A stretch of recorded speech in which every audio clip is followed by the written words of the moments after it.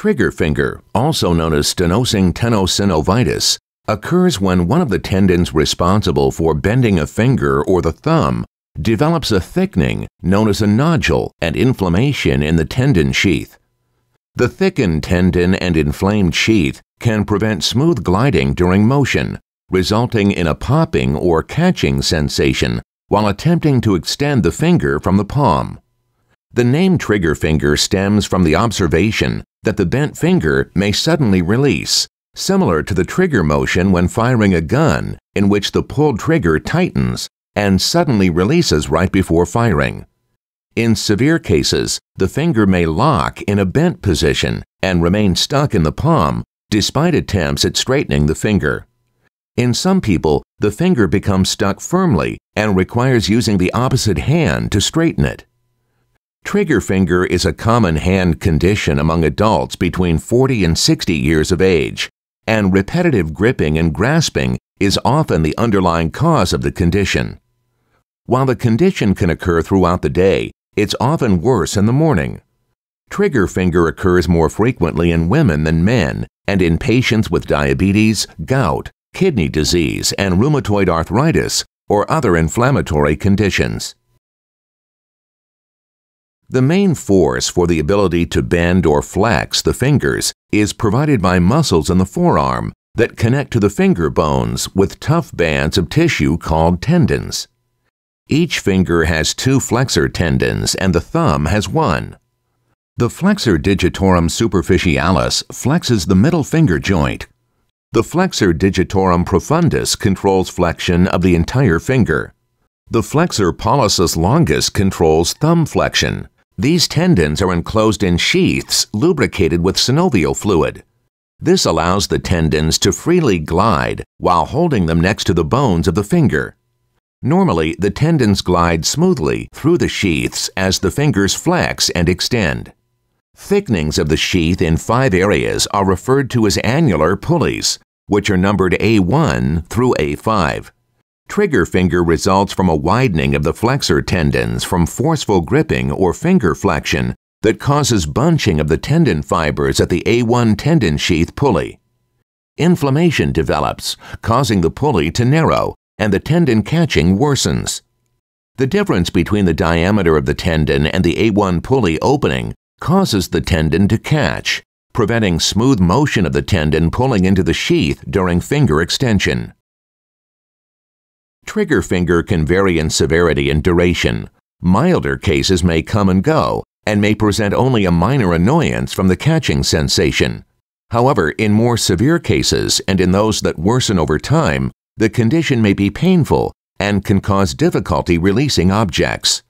The tendon may become stuck and won't move through the pulley without effort to free it. Tenderness and swelling are often present in the palm in line with the affected finger. In addition to catching and pain, a palpable nodule is often observed. If the trigger finger exists for a significant period of time, joint stiffness may also occur. Trigger finger is typically diagnosed based on patient history and physical exams. X-rays are often obtained to assess for other joint conditions, and lab tests may be ordered to check for underlying diseases such as rheumatoid arthritis, gout, or other inflammatory conditions.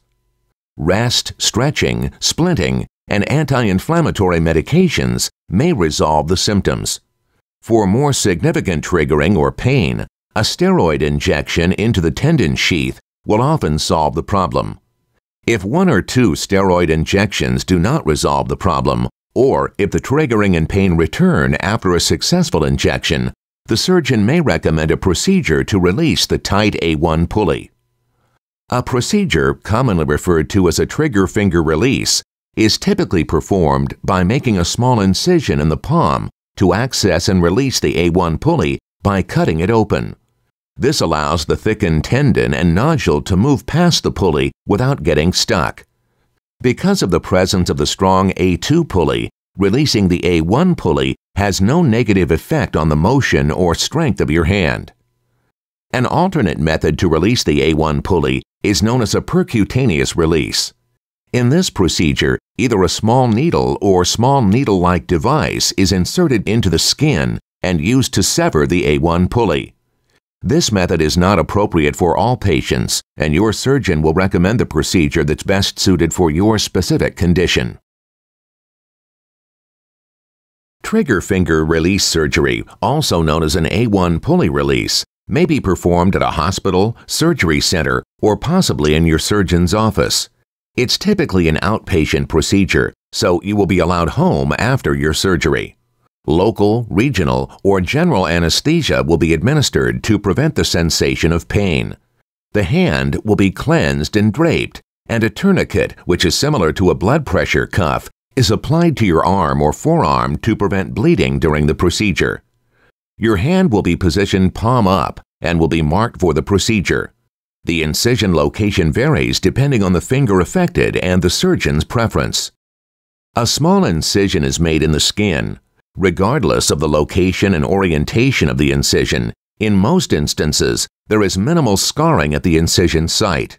When possible, the surgeon may create the incision along a crease that will conceal the scar. After the incision is made, the tissues are gently spread down to the level of the flexor tendon sheath. The finger is flexed and extended to visualize the inflammation or nodule as it catches on the A1 pulley. The tissues are retracted away from the A1 pulley and it is carefully released by cutting it with either scissors or a knife.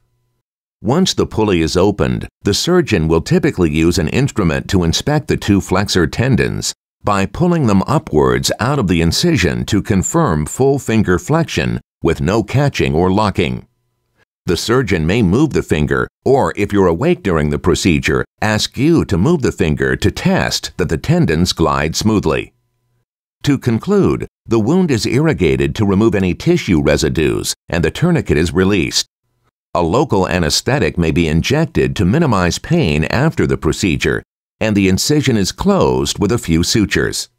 Finally, a bandage and dressing are applied. The open procedure takes roughly 15 minutes per affected finger to complete. It may take several hours for the anesthetic to wear off and for feeling to return to your hand. Some pain following the procedure is normal, but is often minimal due to the small incision and can usually be managed with over-the-counter pain relievers. You will likely be asked to keep the area clean and dry and to keep your hand elevated as much as possible for several days to minimize swelling. Bandages are generally removed after a few days, and sutures are removed in one to two weeks based on healing. The incision will likely be pink or reddish in color as the tissues heal. It may also feel tender and firm for a few months after surgery. Your surgeon may encourage you to open and close the hand several times daily to avoid stiffness in the fingers. Trigger finger release surgery has a remarkably high success rate, and the majority of patients report excellent results with relieved pain and normal motion.